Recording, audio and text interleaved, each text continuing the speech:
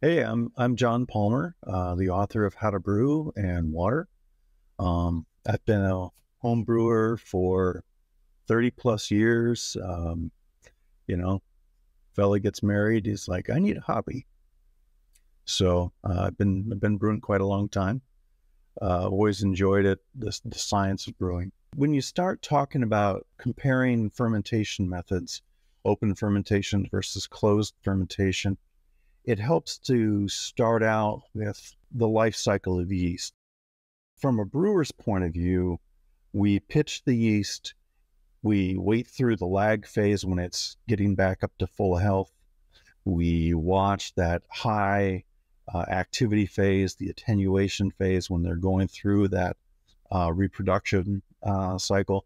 They're rapidly taking in sugars um, and churning out daughter cells. Then at the end of it, um, they there is that clarification phase where the yeast settle out, flocculate, and we consider the beer to be done. But there's a hidden phase in there, which we call maturation, and that's where uh, the the yeast will clean up byproducts that they produced during that very fast, uh, high activity phase of, of reproduction. Real fermentation consists of both attenuation and maturation to get a fully fermented, clean tasting beer. Open fermentation is the original fermentation, really right up through the 1800s, practically.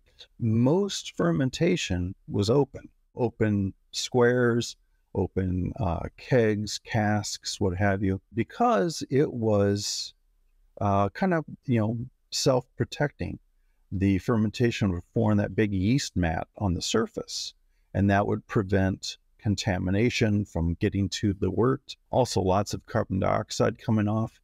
That heavy carbon dioxide coming off, the, insects avoid that because they know if they fly over it, they die and fall in. Once the attenuation phase of fermentation is over, that high growth phase, then that krausen starts settling back down into the wort and that's when it's time to transfer it to a maturation vessel, such as, you know, a wooden barrel or something, um, and protect it from oxygen. And that was, that was, you know, the way it used to work. They would have these large open fermenters. When the, when the krausens start to settle, they would transfer the beer to casks, uh, wooden casks, and maturate it for a period of time whether it's months or sometimes years in the case of stock ales. And then, you know, it would be fully matured, fully carbonated, and you could serve it. Open fermentation, when you when you start realizing how how it started and and really how robust it is, you know, compared to the way we think about fermentation and homebrewing today in a bucket with an airlock on it um, it's really quite easy. It's it's as simple as having that bucket and throwing a clean tea towel over the top. Like I said, you've got the, the yeast layer on top. You've got the the ever evolving CO2. As long as you protect it from gross objects, you know, falling in from above uh, and falling in, including cats, um, then it's, it's it'll be fine. And then once that krausen has started to uh, fall, then you can fasten the lid on with your airlock and let it sit for another two weeks. You know, if you've looked inside your fermenter, and, and most of you have, you know, peered in through the airlock hole, you you know that there's the hop scum that comes on floats on top, you know, of the of the yeast. You get the the brown and green layers or around the edges there. All of that can be skimmed off, and you know, if you were doing it purely open and there may be the occasional dead insect have fallen there, you can skim those out too.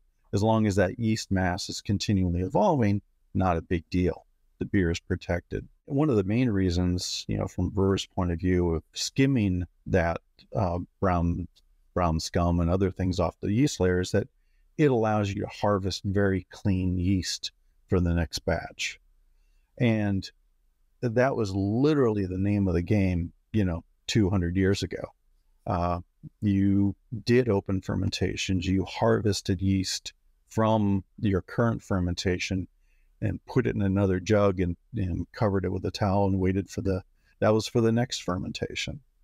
Um, or you you'd scoop it off and put it into the waiting wort, you know, uh, and got that fermentation going. We we say that with an open fermentation, you get tend to get more fermentation character into the beer, a little bit more ester, um, uh, sometimes a little, a little bit higher attenuation. Um, the yeast are generally healthier in an open fermentation versus closed. They take in oxygen, they uh, synthesize amino acids that they need to grow, and they reproduce as they consume these sugars. So, yeah, you generally get a healthier yeast mass for the next fermentation from, from open fermentation. Uh, and that often translates to a little bit more fermentation character being evident in the beer, a little bit more ester, etc. For the absolute beginning brewer who does not appreciate sanitation and fermentation yet, uh, go with the closed, you know, do a, you know, obey all the guidelines that you've been given and keep it as clean as possible. Once you've seen it and done it a few times and know what you're doing, then you can take a step back and relax, cut a few corners here and there. Um, open fermentation is very robust. The the activity of the yeast, as long as it was clean initially, will keep it clean as that fermentation progresses. You just need to worry about oxidation and staling if you don't transfer it away from the oxygen towards the end. As far as conducting uh, an open fermentation at the homebrew level, check out pages 100 to 103 in How to Brew. I've got some pictures of um, equipment and picture of a my friend uh, in Trondheim uh, at their brewery um, doing an open fermentation there. But a clean a clean tea towel, you know, a clean uh, drying towel, dish drying towel with, I mean, not a bath towel with the nap on it. Uh, that's a, li- a little too much lint. It would work, but I think, you know, in the interests of marital harmony, you get your own towel rather than one of the bath towels to drape over the fermenter. I think everything will be a little better.